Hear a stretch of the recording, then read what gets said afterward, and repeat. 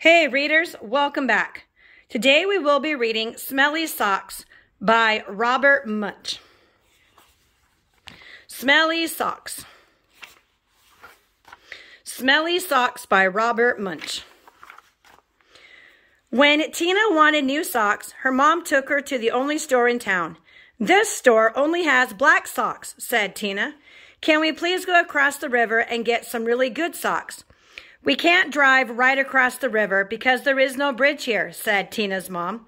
You know it is a long, long, long way to the only bridge, and besides, we don't have a car. So Tina went to her grandfather and said, Can you please take me across the river in your boat? I want to buy some really good socks. The motor is not working on the boat, said her grandfather. Row, said Tina. We can row. I will row and you can sit in the back of the boat. You will row, said her grandfather. Yes, said Tina. Rowing is easy. So Tina got in the boat and rowed slowly. Splash, splash, splash. The boat went in slow circles. Swish, swish, swish. Tina rowed fast. Splash, splash, splash, splash, splash. And the boat went in fast circles. Swish, swish, swish, swish, swish. This boat has forgotten how to row, said Tina.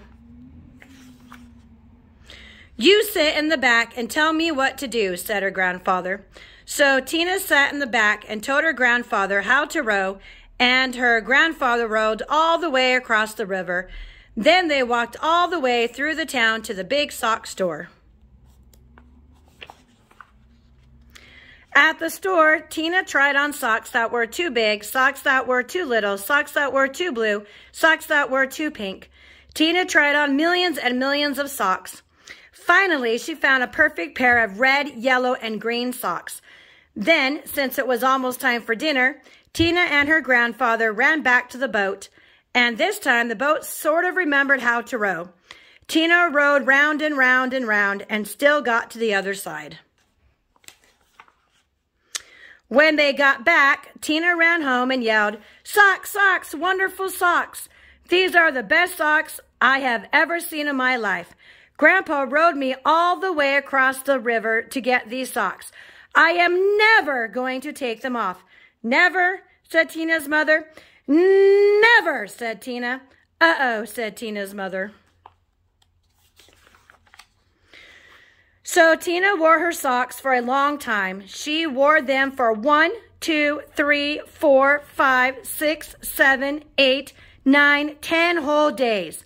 Her mother said, Tina, I know you love these socks. Just let me wash them real quick. They will start to smell if you don't get them washed.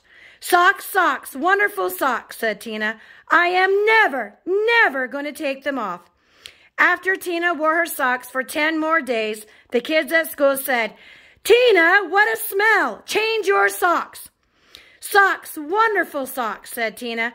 I am never, never, never, never, never going to take them off.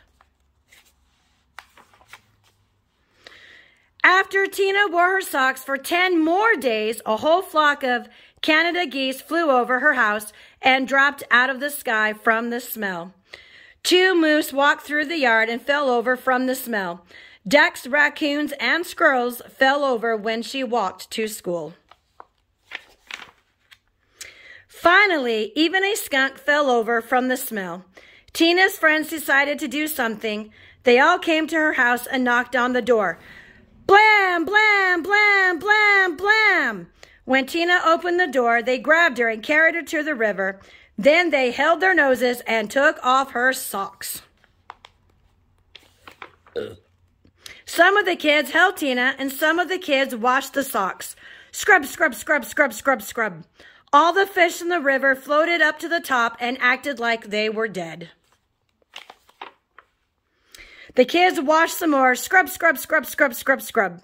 All the beavers ran out of the river and went to live with Tina's grandfather. They washed some more. Scrub, scrub, scrub, scrub, scrub, scrub. Far down the river, people said, How come the river smells like dirty socks?